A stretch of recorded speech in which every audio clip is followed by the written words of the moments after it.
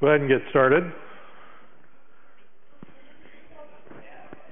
I'll be talking about all the big data science stuff that Postgres has as features and capabilities that uh, maybe some of you haven't heard about. Um, talk about developer features, uh, administration, performance. Uh, there's a community aspect to this as well, I think. And then finally, I actually have a case study uh, for one of our clients that, that kind of shows how you can put all these different features together. So developers, uh, there's a, a, number of things that Postgres has that, that you can use to make your job of developing an application or developing predictive analytics models um, easier. Um, the most obvious of which is the JSON data type. This was added in Postgres uh, version 9.2, and there's been features implemented around JSON in every release since then. Um, 9.5 gains the ability to actually go in and very easily modify parts of a JSON uh, document without having to, to go through a bunch of uh, extra work to split things out and bolt the document back together. Uh, there's two different data types, uh, two different JSON data types that Postgres supports. The plain JSON data type basically takes your, your JSON and it stores it as text. So it keeps it in the raw form. The only thing that it really does is it validates that it is valid JSON. That's nice if you expect to be ingesting JSON and then not really doing very much with it.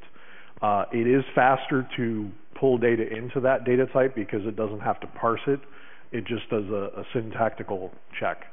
The second type is JSON-B or binary JSON.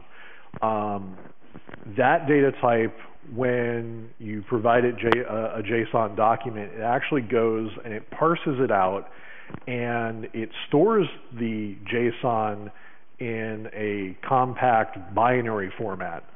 So your original formatting and, and things of that nature are gone, but the nice thing is, is that the access to that data is then much faster. The other thing that you can do with uh, JSON-B is you can actually index intelligently on it. There's two different indexing methods that are provided. Uh, one only operates at the very top level of a JSON document, but it knows about every single key. The other one operates on really at the path level. So it knows what paths are, are in your JSON. Um, as I said, there, there's very rich set of, of uh, very rich support for it. As of 9.5, there's 12 operators and 23 built-in functions for it. And importantly, there's also very strong operability, interoperability between the JSON data types and other data types. So what I mean by that is you can do things like take a Postgres row out of a table and say, hey, take this row of data and turn it into a JSON document. It's a single function call. It's very easy. And whatever your input data is, you then get a valid JSON document out. And this is just one example of the kind of interoperability that you have with JSON. The next thing that Postgres features is an ability to really connect to everything that you could possibly want to connect to. Um, foreign data wrappers is, is the foundation for this. Those are added in 9.1. There are now just short of 100 foreign data wrappers. In fact, there's so many foreign data wrappers that there is a foreign data wrapper that reads the list of foreign data wrappers for you. Um, there are 15 data uh, 15 foreign data wrappers specifically targeting NoSQL technologies uh, across 10 different NoSQL databases. And there are seven that are targeting uh, big data systems like uh, Hadoop and HDFS. Now, if you need to talk to something that is not, uh, that doesn't have a foreign data wrapper provided for it, uh, first of all, it is not that difficult to produce an, a new data, uh, foreign data wrapper, there are two projects. One is called Multicorn. The other is called, um, I read it. I read it yesterday, and I can't remember uh, the name of it. But, but basically, what Multicorn does is, is you can write a brand new uh, data wrapper in Python. There is uh, the other version of that is the same idea. It makes it very easy to develop a foreign data wrapper in Rails, or sorry, in Ruby. Um, should all of those steps fail, and you don't want to go and create your own foreign data wrapper, the next capability that you have is support for multiple procedural languages. And from the standpoint of, of interoperating with other data systems, this really gives you the world because you can write code to run natively inside a Postgres database in Python, in Ruby, in Java, in all kinds of different languages. So whatever data you need to get at, there's a procedural language that will allow you to get at it, uh, assuming that there's not a foreign data wrapper that you can use already. Um, and uh, again, because Postgres is so extremely extensible, you can, if you have a language that's not supported, like for example, I, I looked to see if uh, the Go language had a, a PL uh, language, and I didn't see it. So that might be an interesting project is to add support for Go in Postgres. Uh, finally, on the developer side, Postgres data types are themselves extensible. Um, perhaps the simplest uh, version of that is a domain, which really is a data type that you put some additional um, checking on. You can also create a composite data type. So for example, Postgres does not have uh, a data type for complex numbers like Python does. But if you need to store uh, complex numbers in Postgres, you can easily create a complex data type that just has your uh, real and your imaginary components as two fields to a single data type. You operate on that as a single data type. So from the standpoint of data, it's one single number but that single number has two components. You can also create brand new data types. Um, just last week, I decided, hey, let's let's see what it would look like to take a NumPy ND array, a Python data type, and port that into Postgres. And once I figured out, uh, really mo most of the difficulty here was figuring out some uh, compilation issues between Postgres and Python. Um, in order to implement that data type, it's like 10, 20 lines of C code and 10 lines of SQL code. And here's a brand new data type now that you can that you can make use of. Um, in addition to the type extensibility, uh, there was a feature added in, uh, I think it was 9.4 or 9.5 called transforms. And these allow you to control how specific Postgres data types are relayed to the different procedure language functions. So, for example, uh, the ND array data type, I created a, a, representation function. Those of you that are familiar with Python will recognize the repr um, format. And you know, this is a function. It, it says, "Hey, I return text. I'm a Python language function." The important thing is the transform for type ND array that tells Postgres, hey, there's a special thing I want you to do for this data type. So when you call this function in Postgres and you hand it an ND array data type, that gets treated in Python, it's an ND array data type. So all the Python function has to do is say, oh, well, here, I'm just going to return the representation and that's what you get out. So all these developer features ultimately what they mean is that if you're working with complex analytical tasks, the last thing that you want to have to do is go learn a whole bunch of new tool chain, go figure out a whole bunch of extra stuff. You just want to be able to, to do your job and, and get it done and move on. And these developer features make that very easy uh, for you to be able to do that. And any place where you, you see something missing and go, oh man, I wish Postgres did this, the extensibility capabilities make it easy for you to add something new that, that you don't have. And by the way, if anybody has any questions during the talk, please just raise your hand. It's, it's, I don't, I don't want anybody to wait till the end. So, um, so next up is administration. If you're going to maintain a, a big data environment, administration becomes a, a really key facet to this. And there's a number of things that, that Postgres has um, that honestly I think are actually superior to a lot of the the big data options that are out there that are more traditionally used. Um, a big one of those is backup. I think this is something that a lot of the, the big data tools they just go, oh the data the data set's so big. I mean, how can you back up 10 terabytes of data? Well, that data is your business. most most companies, if they lose their entire data set, just lock the doors because you're done. So I think that you know dealing with backups that needs to be a foreground thought. That needs to be something that you think of up front, and Postgres has done that. So there are two major ways to do backups in Postgres. Um, point-in-time recovery is really point-in-time recovery is an extension of the same kind of crash recovery system that Postgres uses to deal with uh, a server going down.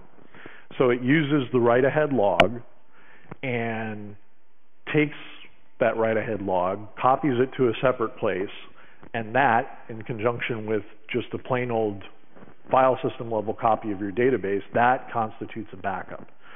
Um, the the really strong capability that point in time gives you is that when you need to do a recovery, you can say, okay, recover to this exact transaction. Because if you look at traffic on the mailing list and, and when people are asking about backup questions, I'd say probably half the time it's not because they lost their entire database. It's not because a, a file system just went kaboom, and everything's gone. It's because somebody made a mistake. And they said, oh, this table with test data. Drop table test data. Oh, wait, that wasn't test data. That was production data. And now you have this database that is all still there and it's up and running, but now you can't get to uh, this very important data. So this this point in time recovery capability makes it uh, much easier to deal uh, with those kind of situations because you can recover the database to the exact transaction before the mistake was made. The other backup option that you have is, is PG dump. From a big data standpoint, it's probably not what you're going to want to do. Um, it has gotten significantly faster it is now possible to run both a dump and a restore in parallel. Really, the reason that I put it on the talk is depending on the criticality of your data, the thing that I really like about pgdump is it's basically impossible to screw it up. Point in time recovery, there's different ways to configure it, there's different tools you can use to configure it. Um, it's very binary level. You can't do things like take a point-in-time recovery on, say, um, an Intel architecture and move it to a, a, different architecture, which isn't as big of an issue today. But uh, whereas PG dump, it's a SQL level dump of the database. So when you're thinking about disaster recovery, I would encourage you to at least ask yourself the question, hey, should we be doing periodic PG dumps as a, as a last ditch recovery safety net.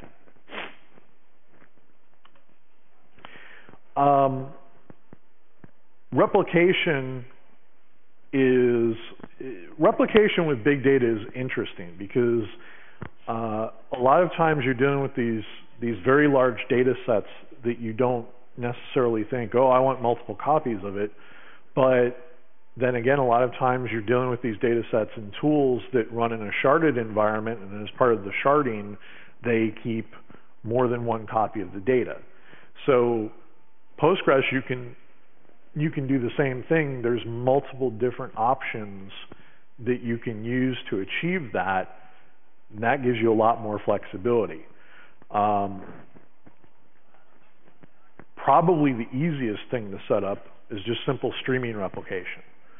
So this builds on top of the same code base and the same concepts that are used for point-in-time backups, but it extends it so that now it's a point-in-time backup that's happening continuously, and at the same time that it's happening, you have a server that's restoring that backup and that you can run queries against. So you can stand up these replicas. They're very easy to stand up. And you, uh, you also have the capability for these to be truly synchronous replicas.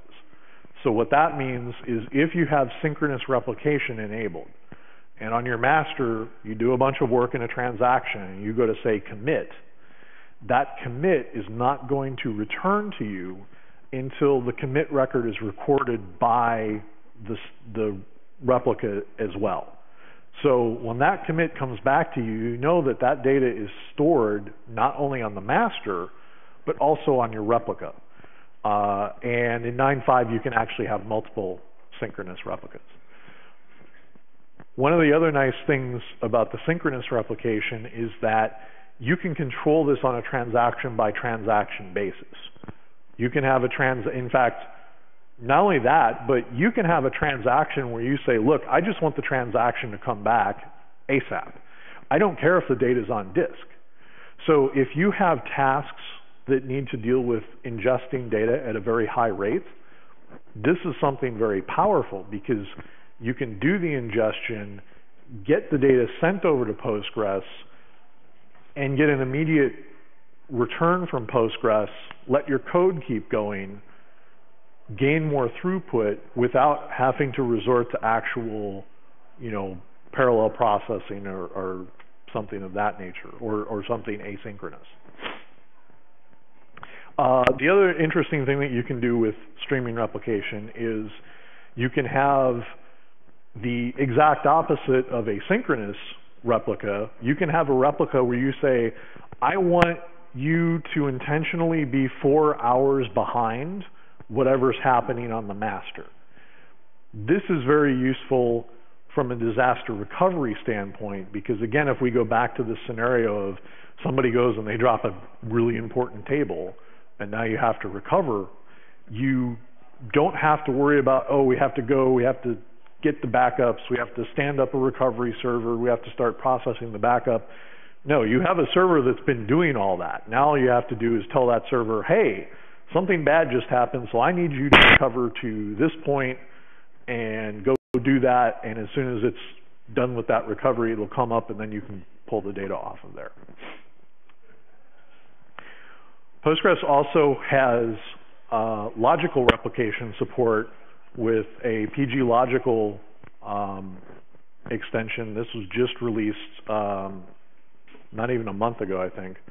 Uh, it's very similar in nature to trigger-based replication, but the, the big difference is PG Logical uses the logical replication framework that was first uh, added in, I believe it was 9.4, that is based on the transaction log.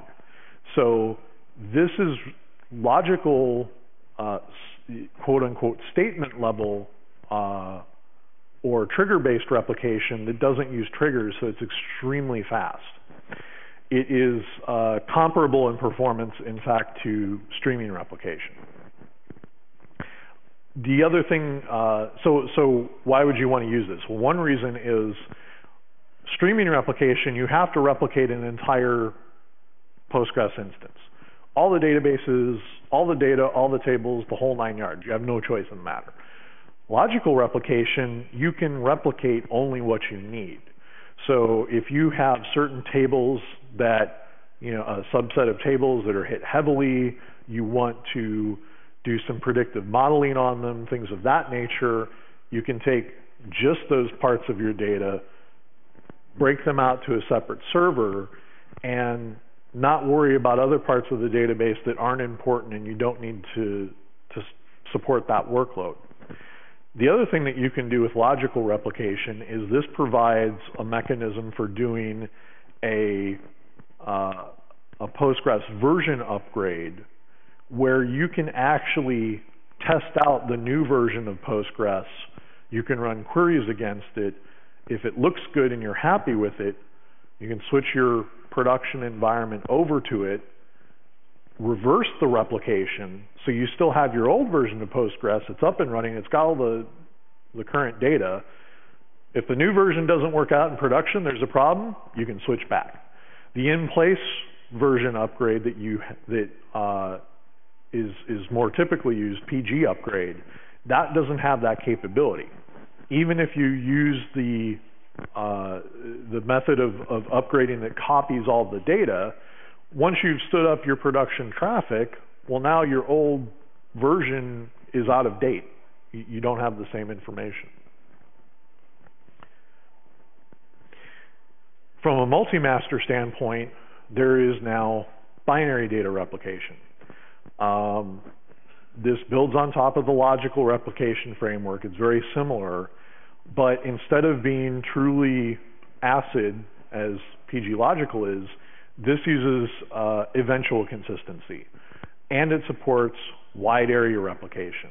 There's a number of people that are running this where they have data centers spread across the planet, and BDR is very happy dealing with the kind of latencies that you get on those kind of uh, of internet links. Uh, the one the one kind of uh, downside to BDR is that right now, uh, for BDR to function, there's a few things that it needs within Postgres itself that are not in Postgres yet. So it is currently uh, it currently requires a slightly modified version of Postgres, so it's not 100% true community Postgres. Finally, there are other replication schemes that are out there for Postgres. Um, Slony and Londiste are probably the two most popular. Uh, there's a, a, few other ones that are out there.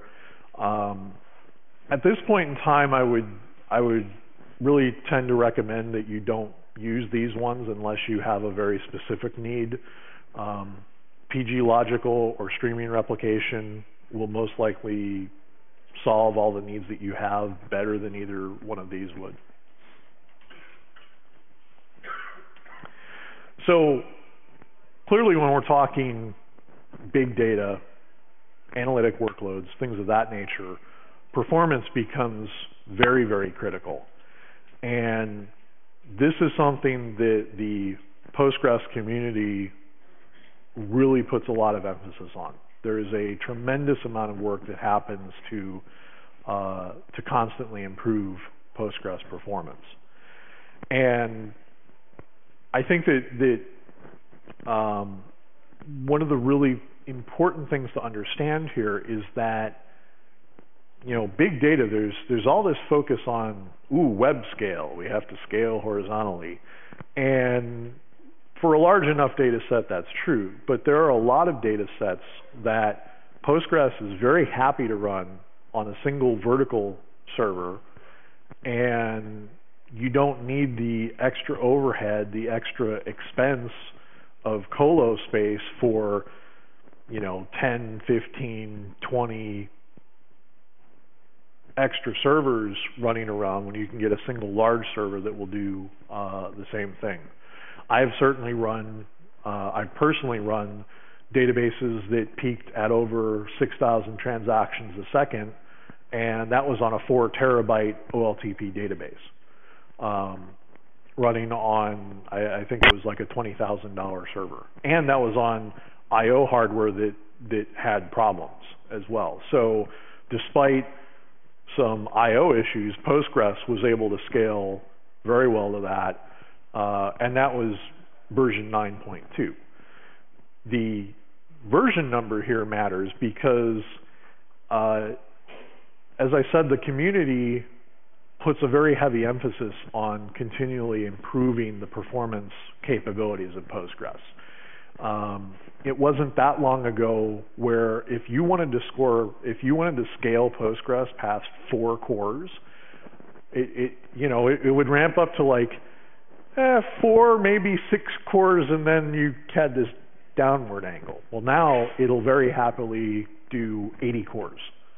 Um, there are significant improvements that are made in every major release, and typically the number that I tend to, to go with as a ballpark is every major version of Postgres improves performance by about 20%. Now, obviously, that's very heavily dependent on your workload. Some people won't see a tremendous, you know, they, they may see 5 or 10%. Other people are hitting a, a, problem area and, and they'll do a version upgrade and go, oh, holy cow, it's twice as fast. Um, so why does this matter for big data? Well, data keeps getting bigger.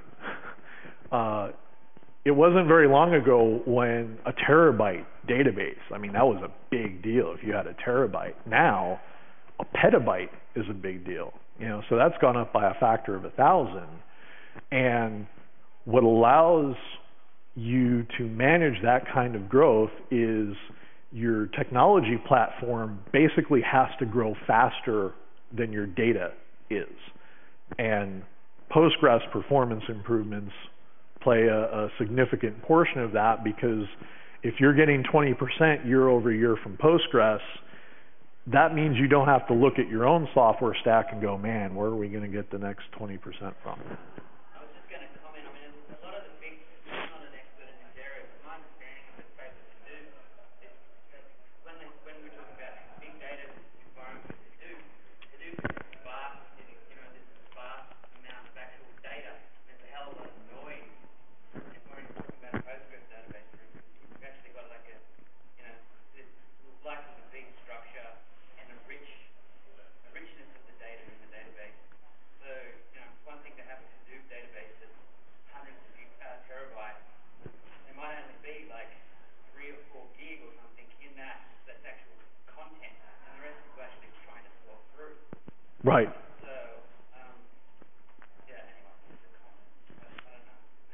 No, it, it's it's a very good comment because a lot of the NoSQL solutions are very very uh, space inefficient, and it's kind of easy to dismiss that with oh disk is cheap, and yes disk is cheap, but what's not cheap is the I/O. Um, Alvaro the creator of ToroDB, gave a talk a couple hours ago in the other room, and he's got numbers that showed uh, comparing Mongo to Toro. So, sorry, let me take a step back. ToroDB is the MongoDB wire protocol implemented on top of a relational database, specifically Postgres, though theoretically you could run any relational database. And the testing that they've done they see that storing the same data in Postgres versus storing it in Mongo, it's anywhere from 68% of the size to 38% of the size. So when you get down to 38% of the size, that means that two thirds of the data that was in Mongo was wasted space, basically. Um, and, and that makes a big deal from a, a performance standpoint. So no, that's that's a very good point. It, it's certainly um, relevant. Um, so finally, coming out in 9.6, after I don't know how many years of us wanting it, Postgres is getting parallel query execution. Um, this is a, a, tremendous amount of work that's been done uh, by a, a handful of people. Right now it supports uh, sequential scans. I know that there's parallel join execution. I don't know offhand if there's parallel index reads. I don't know if anybody here does. Um, and it does support, uh, or they're they're working on support for um, parallel aggregate operation. Um, one of the things that that people have a tendency to focus on with with big data is this whole horizontal scaling. And admittedly, this is an area that Postgres is not as strong on. But there actually are options here. Um, first of all is Postgres XL. This is a fork of Postgres that allows you to run distributed transactions on multiple instances in a fully ACID manner. So from a user interface standpoint, it basically looks like, oh, it's just one Postgres instance. It just happens to be spread across uh, a number of different servers. Um, there are some other uh, variations of this. In fact, Postgres XL grew out of something called Postgres XC. So L comes after C. You want the newest one. um, there's also Postgres R. Uh, there's also Greenplum, which was uh, very recently open sourced. Postgres XL uh, seems to kind of have the, the biggest weight behind it right now, so that's why I mentioned it specifically.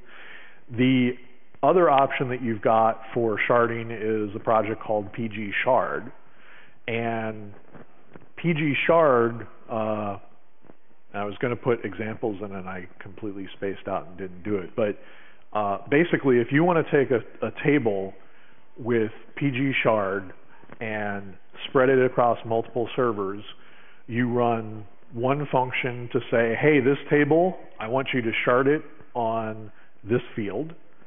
And you then run a second command to say, okay, now that this is sharded, go actually spread that data across all the clusters that you have. Once you run those two commands, you write queries against that table, and they just get spread to all the different data nodes. There's nothing else that, that you really have to worry about. So uh, very, very easy to use, very flexible. Uh, the only downside is that with spreading the data out, you don't necessarily have a truly ACID database anymore. So if you want to do uh, updates, and in fact, it does require that when you're doing updates, you have to uh, include the uh, the partition column in your where clause of the update. So really, updates are not going to be ACID, they are going to be spread across multiple nodes. But as long as you are okay with that, uh, it's a really good option for, for getting horizontal scalability should you need it. Postgres also has support for uh, column stores. For certain workloads, certain data locality patterns, a column-oriented storage technique can uh, potentially be a lot faster than doing the equivalent in a row-based uh, storage mechanism. Uh, the CStore foreign data wrapper is the, I would say, the most up-to-date uh, version of this. Uh, it was created by Citus Data. It's, it's basically uh, one of the parts of their commercial technology, and they've open sourced it for the community to use. Uh, it is implemented as a foreign data wrapper, so that's kind of the interface into it. Um, there is also an in-memory column store. Uh, there was a presentation on this at PGCon last year. Uh, and I did I did look when I looked it up. There is current activity uh, in GitHub for this. So there was uh, there were commits um, back in I think October. So there is activity on it, um, but I haven't frankly seen much publicity on it. So uh, if you need a column store, I kind of included it for sake of completeness. Um, if the the C store FDW doesn't do what you need, you might look at the in-memory column store. Um, and there's also a foreign data wrapper to Monet, which itself is a column store database. finally, on the performance uh, side of things, Postgres has support for GPU utilization.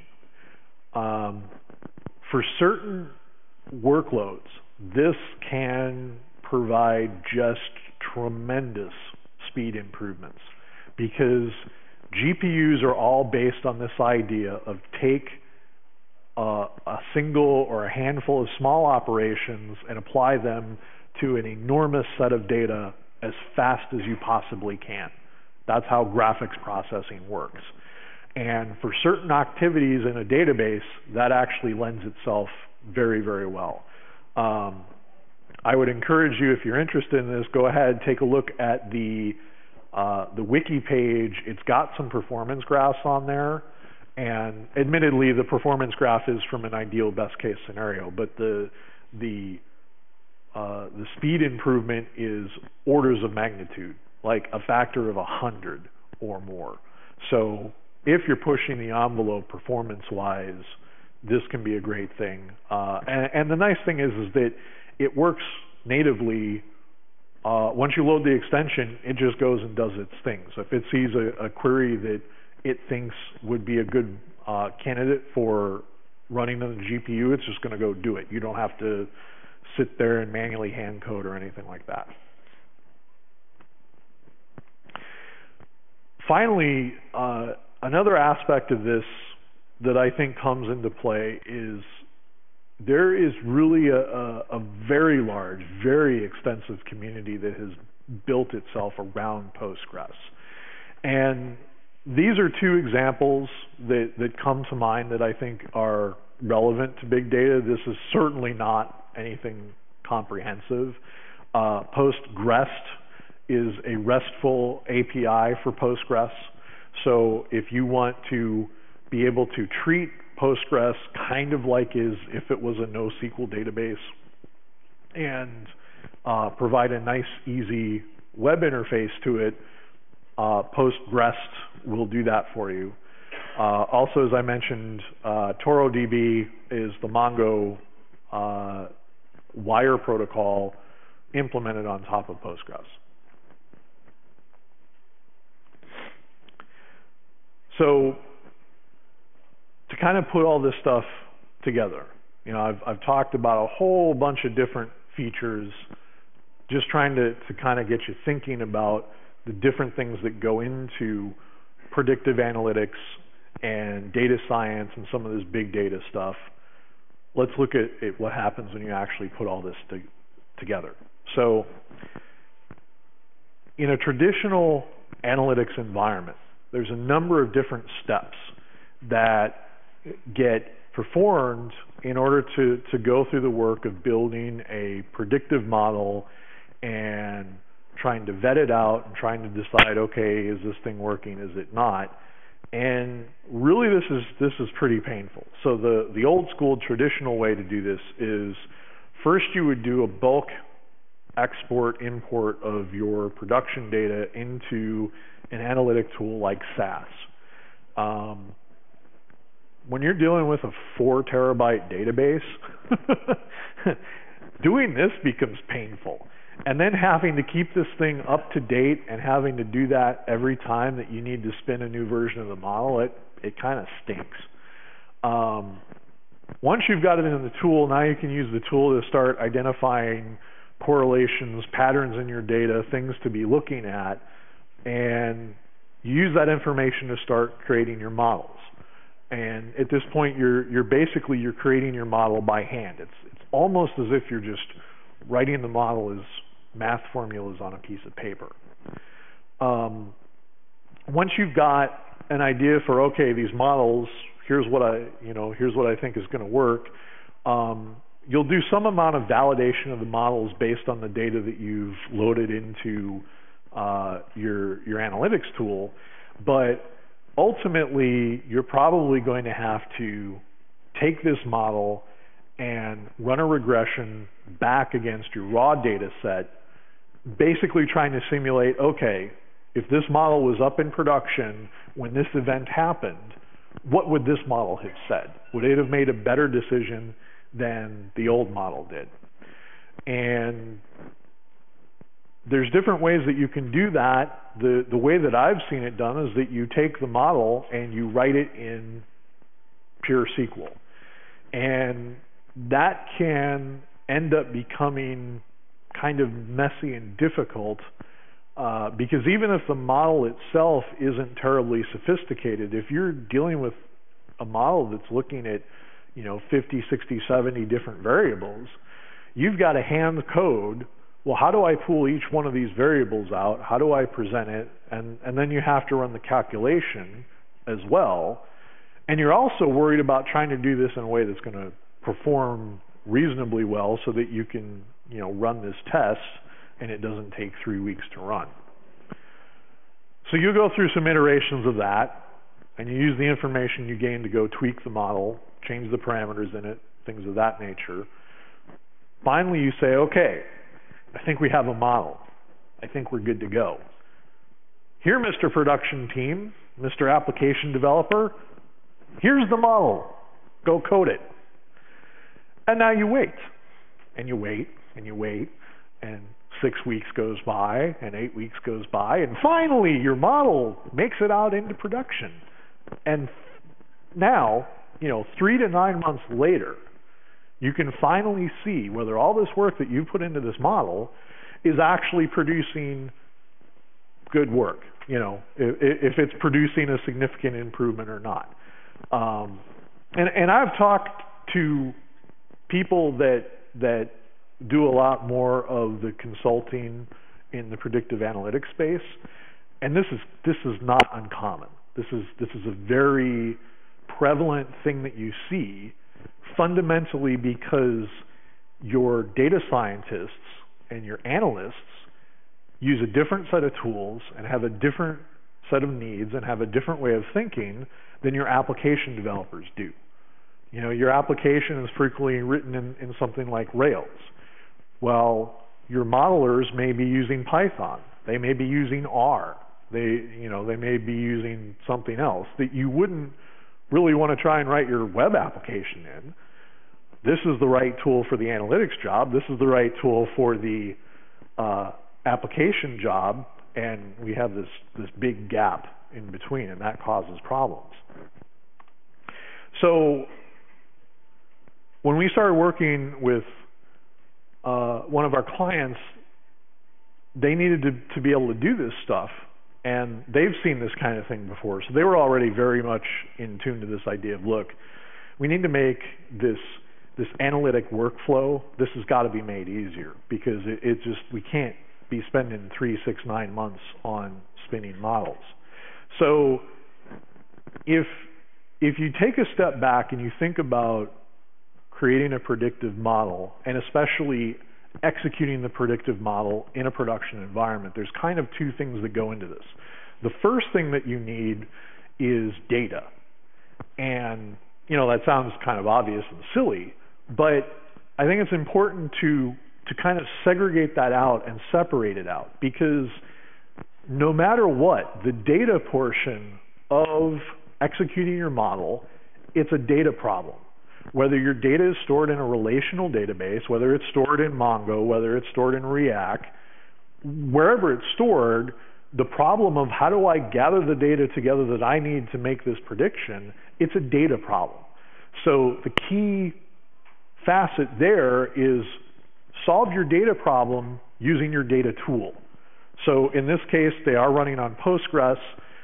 Our methodology for pulling the data together is it's all SQL we have uh, a view that goes and, and pulls the stuff together, and then there's just a simple uh, function that you call and say, hey, here's the person's identifier. Uh, give me the data that I need to run this model. And the function returns a Postgres complex data type that is every single piece of data that is needed by the model. Some of that is very simple scalar data. Some of it is arrays that uh, that are actually arrays of complex data types themselves. So there's an actual nesting that's happening here where you have this multi-layer document essentially that's being handed to the calculation function.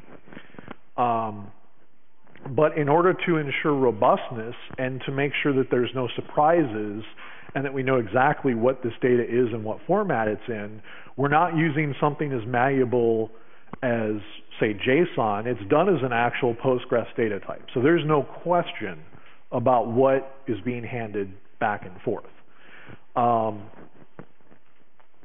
so the, the data gathering is done in SQL. The calculation function, on the other hand, and, and again, we're, we're keeping these two things separated very specifically. So now the calculation, you want to run the calculation in R? Hey, great, fine. You want to run it in Python? Okay, not a problem. You want to run it in Perl? What the hell is wrong? I mean, yes, we can do that. Um, it doesn't matter. It'll it'll run in whatever procedural language you want to. As long as Postgres supports the procedural language, you're good to go. Uh, and the nice thing is, is that these ideas have been wrapped up in a framework. So there's a set of database functions and tables that are built around this, this notion of here's the data stuff, here's the calculation stuff. And this framework does things like when you go to set up the next version of a model, you say, okay, here's version three of the fraud model. Here's the function that goes and gathers the data, and that gets put into the framework, and the source code of that function gets put into the framework. Here's the function that runs the calculation, and the source code gets put into the framework. So now we have this record that says, oh, here's the exact version, and every time we do a run of the model, we say, well, here's the model we're running, we capture all the input data, we store that as part of the execution, this individual execution. We then also hand this to the calculation function. It does its thing. It provides another Postgres compound data type. We then store the compound data type of the results. And now we have a record of absolutely everything that went into executing this model. Now, for a lot of you, uh, out of curiosity, how many of you are doing big data? How many of you data science, data? Okay, good, about quarter. Um, you know, a lot of you, if you're doing like weather modeling or something like that, you're like, well, what, what, why, why are you going to all this problem? Uh, why are you going to all, to all this trouble? Well, uh, Kyrios Capital is a lending institution, and there's a lot of regulations that are wrapped up around lending institutions. So when they're at work one day and the auditor shows up at the front door, they want to be able to answer auditors' questions. And, and part of this is, is the auditor can go in and pull individual loans or pull declined loans and say, why did you decline this person a loan? Did you decline it because they're a woman? Or did you decline it because their credit stinks? the first one is bad, the second one is okay. So this framework was developed specifically uh, specifically to, to, to support those those kind of ideas that now they can explicitly say, here's everything that went into this model decision. So those of you that are in a heavily regulated industry, those of you that want that traceability, you know, that's that's something that might be very valuable. Um, others of you that that don't care so much about the traceability, a lot of that I think is still valuable. You know, this notion of separate the data gathering from the calculation, but even more importantly, take, you know, utilize Postgres as the thing that, that binds this stuff together and that makes it easy. Because now, since all this stuff is done in Postgres, we can do things like spin up a snapshot of production, go mess around with the models, whatever. I don't care if you screw the whole thing up as long as you don't leak any sensitive data. You can go test on it. Oh, you think you got something up and, and workable? You want to do a regression? Okay, fine. Let's run the regression on a, on a replica, say. Uh, or we could even potentially run the regression in production itself and just not, you know, not use it for decisioning. And the nice thing is we would be able to prove, oh, nothing's decisioning on it because there's no records that indicate it. I could easily put a trigger in place that says if you try and create a record, deny it. You know, so there's all this flexibility that comes about because instead of this data analytics team and the application development team, I'm standing here in the middle as the data architect saying, come on guys, let's, let's pull this in together here. Um, so finally, uh, you know, one thing I do want to mention, obviously, I'm a big Postgres fan if you haven't picked up on that. Um, there is no such thing as a magic bullet. Uh, there was a tremendous amount of hype around NoSQL when the tools started coming out. And a lot of people were like, oh, this is going to solve everything. And you look over the past year or so, and all of a sudden now, there's all these projects that are springing up around taking a NoSQL technology and putting some form of SQL back on top of it. Because as it turns out, SQL is a pretty good language for dealing with data. Um, maybe you can't do all of your big data analytics, data science in Postgres. That's fine. You know, there, there are certainly workloads where Postgres is not the right tool for the job. It's not the right answer. What I do think that Postgres has to offer is this incredible amount of connectivity and this incredible flexibility through its extensibility and the capabilities that it already has built in so that the parts that don't make sense to put into Postgres, fine, put it in the technology that makes sense, but then use Postgres as kind of your hub. Use it as the thing that that can pull all this stuff together and make it easier to do your job, make it easier to work with. Um,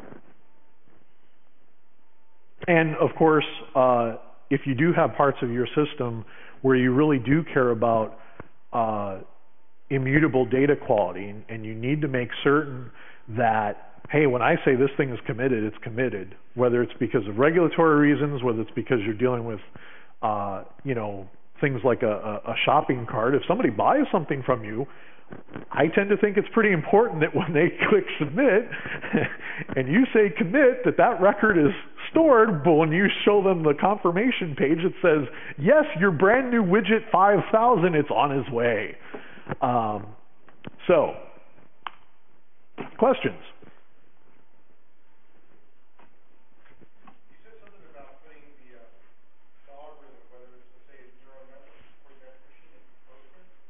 Yes. So, um, because because Postgres has this this support for multiple different procedural languages, you can run pretty much whatever you want to run in the database. Now, I will say that obviously if you've got something that's going to just burn through 80 cores like there's no tomorrow, maybe you don't want to run that on the database server itself. um, but you can also uh, because you've got this this advanced language support, maybe what you're doing in the database is you make a call into a procedural function that itself can go call out to a more distributed environment, and then the data comes back in. Now, on its surface, that sounds kind of weird because, well, why why wouldn't you just have the application do it? And the reason I would personally do it in the database is you're doing your data gathering, you run the calculation, you get the results back, you probably need to store the results in the database too. So really this is all still a data problem. It's not until you've you've captured the data, calculated, and then stored the results that now you go back to the application and say, hey, here's here's the number that, that you were looking for.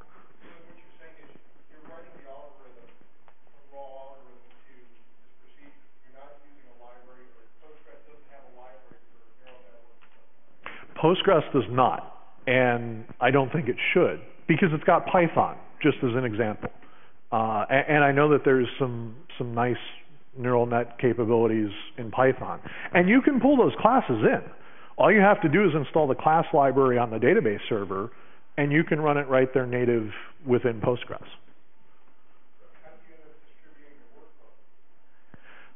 Um,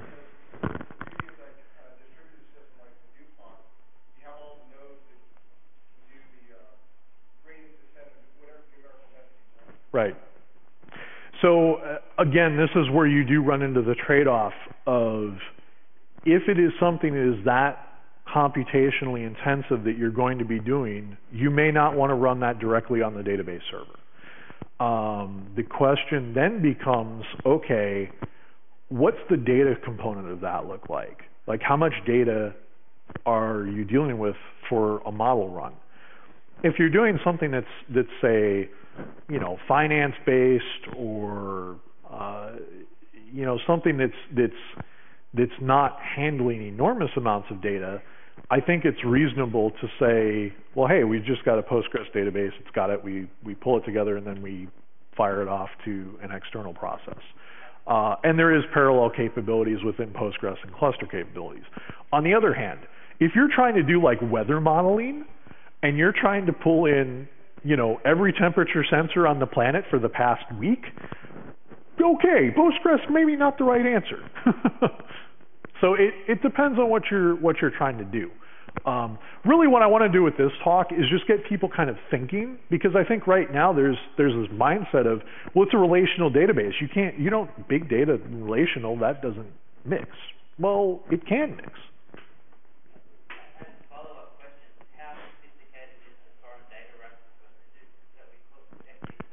Yes. Um, I do not know off the top of my head. Um, right, right, right.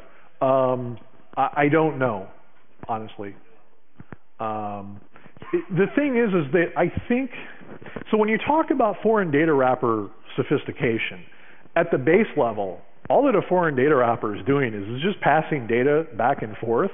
It's doing protocol translation, and it's basically turning something like a select statement into you know whatever you need over here.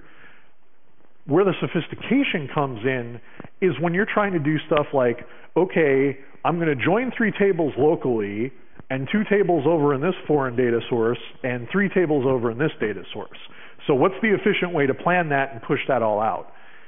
That level of sophistication, I suspect, is not in the Hadoop foreign data wrapper. Um, because the, that level of sophistication is still being worked on in the Postgres foreign data wrapper that lets you talk to a, another Postgres database. So that I don't think is there. Um, but I suspect that, that for a lot of these tools, it's probably not a really germane question because a lot of times they don't, you know, I don't think Hadoop even has the concept of a join. Maybe Hadoop does, but I know a lot of the NoSQL tools, what's a join? You know, you, are pulling an individual document or an individual key. So um, I think there was some questions over here. No? Anyone? Awesome. Thanks, guys.